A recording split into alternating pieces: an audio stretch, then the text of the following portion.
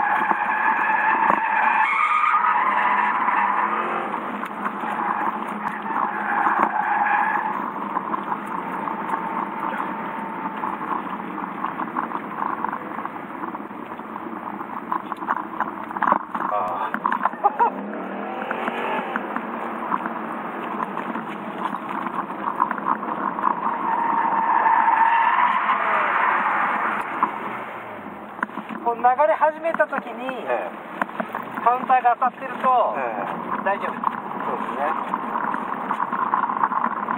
でここでいっぱい当てちゃうとあそうですええ急がして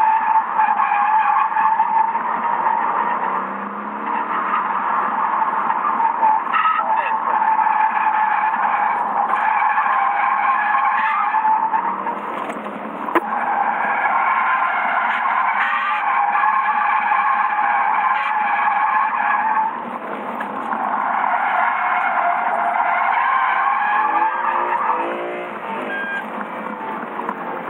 で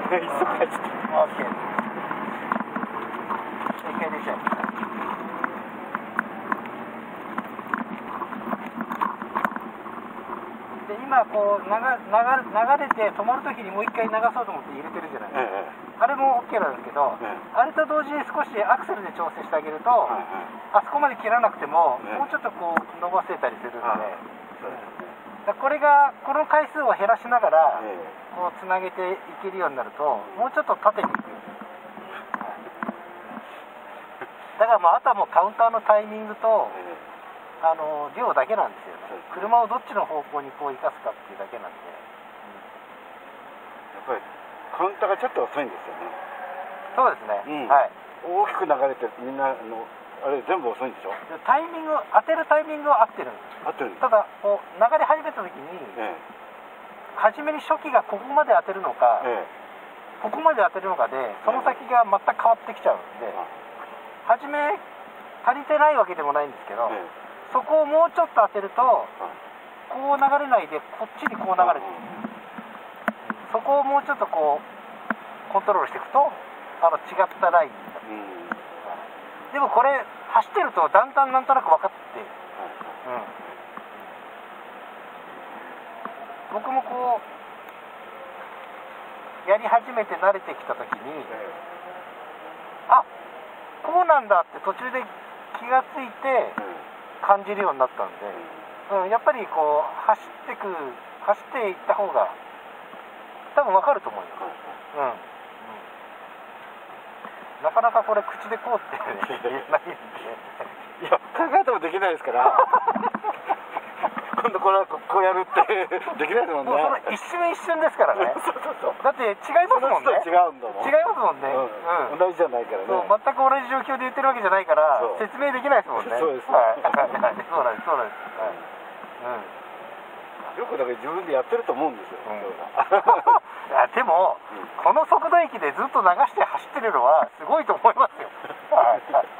で今やってるのはこの状況でどうコントロールするかっていうことを言ってるわけだからかなりハイレベルなところに来てるんで、うん、全然こう低い次元で流れててどうしようってことじゃないじゃないですか、まあ、ある程度のところで速度も出てるし、そこで今度どうしようかってことなんで、うん、